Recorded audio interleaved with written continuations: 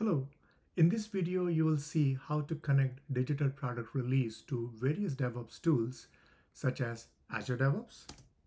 We will look at the choices that you have in terms of integrations with DevOps tools, connect to Azure DevOps from digital product release, install the ServiceNow DevOps extension from Azure DevOps Marketplace, and then set up webhooks so that data from Azure DevOps can come to ServiceNow automatically. To begin, log into digital product release as a release administrator. For example, I have logged in here as Andrew, and Andrew is a release admin. This will ensure that the user has appropriate roles to be able to connect to various DevOps tools and build those integrations. On the home page, you will see various options, and one of them is to connect to your tools. Please click on that. You will be brought to a list where you will see all of the existing tools connected click on the button for connecting tools and then you will be provided with choices of various tools that you can integrate with.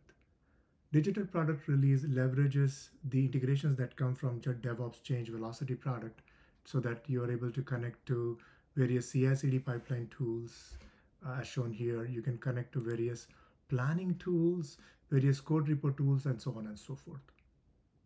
In our example here today, we are going to connect to Azure DevOps, so please select that.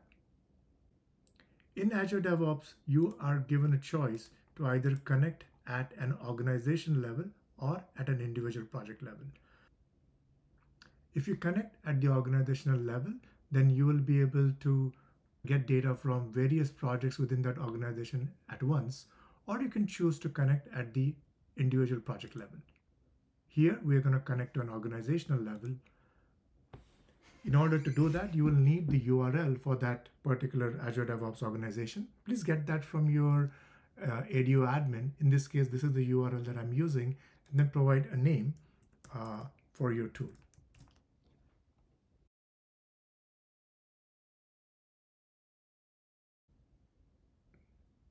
And this will now start a playbook that will guide you through rest of the steps. One of the first things that you'll need from here on is a personal access token or a password to be able to make the connection. You will need to get this personal access token from your ADO admin. Please ensure that that personal access token has appropriate permissions. Please put that in and then click connect.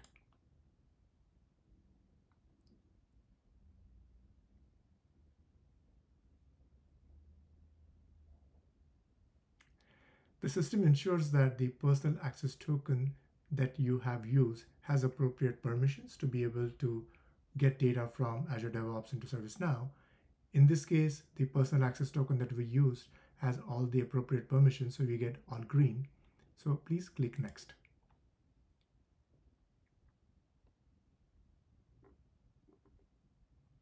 Now, if you want to restrict access to this particular tool that we are just creating, to only a few users and not have everyone have access to it, you can choose to restrict that using this row level permission capability.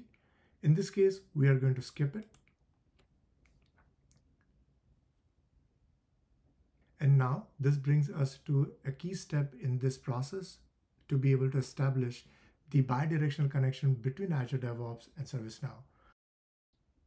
One thing your Azure DevOps admin will need to ensure is that they have installed the ServiceNow DevOps extension in Azure DevOps. To do that, please ask your Azure DevOps admin to go to ADO Marketplace. So what you're seeing here is Azure DevOps Marketplace screen, and then search for ServiceNow DevOps. And the very first listing that you see here is the extension that needs to be installed. Go ahead and install it. This needs to be installed in that particular organization that we are connecting to. Just hit install.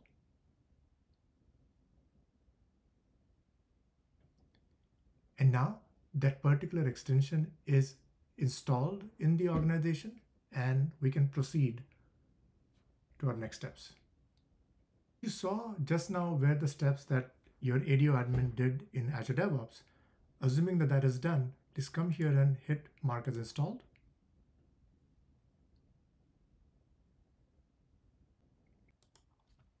With that, we have successfully connected to Azure DevOps and to that particular organization in Azure DevOps. You can now see the projects that are part of that organization and you can select the ones for which you want to set up a webhook so that the objects from those projects such as plans, repos, pipelines will get automatically synced up with digital product release. For our example, we're going to select Parts Unlimited as a project to select that and hit configure. This is going to push a webhook automatically on that project to establish the connection.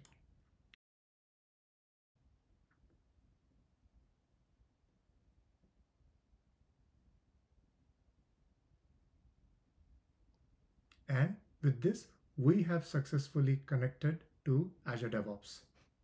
The data from the project that we configured will now get automatically synced up and will be available for all of the rest of the release activities.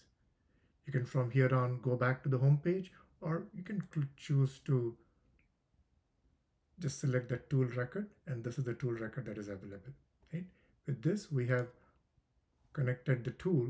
We focused today on Azure DevOps, but as you saw in the demo, the, the same process can be used to connect to many other DevOps tools. We just looked at how to connect external tools such as Azure DevOps and many others with ServiceNow digital product release and set things up so that data from these tools can come to ServiceNow automatically. Thank you for watching this video. Please go to the community page for digital product release on ServiceNow communities to get access to additional resources.